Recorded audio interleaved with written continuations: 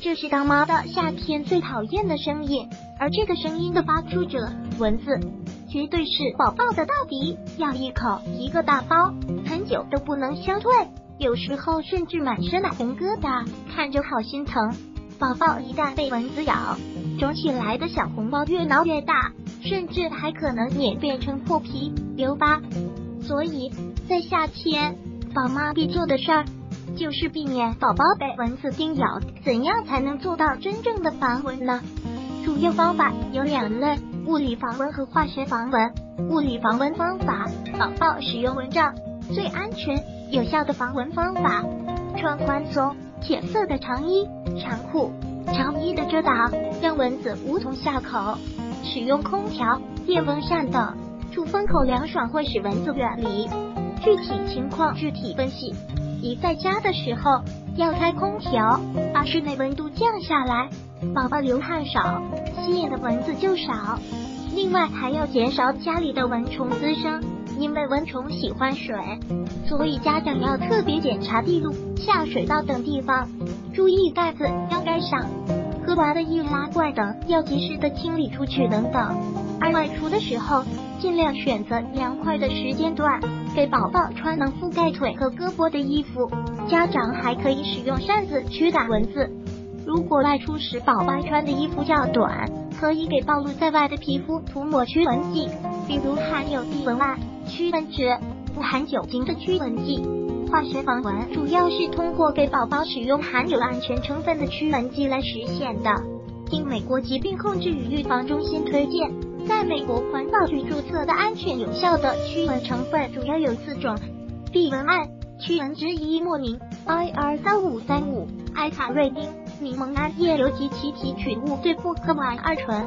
这四种驱蚊成分在安全性和有效性上差别没有太大。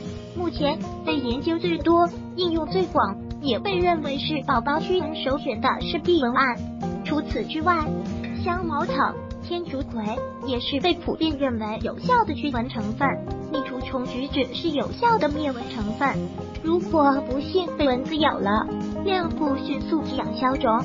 如果红肿没破皮，第一步碱性肥皂冲洗，因为蚊子叮咬人体后会释放毒液，人体识别后会有防御反应，这个反应就是释放炎性物质阻胺。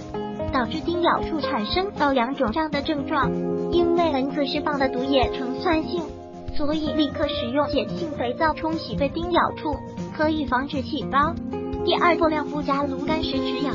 接下来可以使用持续亮肤的方法消肿止痒，除取毛巾包冰块敷在被咬的部位，或者把湿毛巾放入冰箱冻冷后敷在被叮咬的部位，每两三个小时进行一次。同时可以使用外用炉甘石洗剂止痒，并尽量避免宝宝抓挠。三，如果宝宝肿得很严重，个别宝宝可能还会有过敏反应，被叮咬处红肿得很严重。所以，如果宝宝属于过敏体质，蚊虫叮咬后的症状比较严重，可以在户外活动之前的两三个小时内服用一剂脱敏药物。被咬后尽快服用脱敏药，也可以消炎止痒。如果红肿破溃，如果宝宝已经把叮咬处挠破了，皮肤破溃有明显持续的渗出，则可以先使用含有抗生素的软膏涂抹，比如常见的有莫匹罗星软膏或红霉素软膏。待渗出止住，破溃处不再有渗出液时，再涂抹低浓度的糖皮质激素软膏，如丁酸氢或可地松软膏的，或炉甘石洗剂。其实。无论你用哪种方法处理，最最最最最最最重要的是立刻处理。特别提醒：二、平常要勤给宝宝洗手，将宝宝的指甲剪短，避免因瘙痒挠抓伤皮肤引发局部感染。三、如果宝宝对蚊虫叮咬过敏严重，局部出现严重红肿，有明显水泡，甚至伴随发烧，就要及时带宝宝去就医处理。最后要提醒妈妈们。还是尽可能让小宝宝待在没有蚊虫的地方，比如蚊帐里。关于婴儿护理，每天分享育儿小常识，探讨育儿小经验，让你成为育儿小达人。如果喜欢本视频，请分享并订阅本频道，访问 T T News X Y Z 获取更多相关资讯。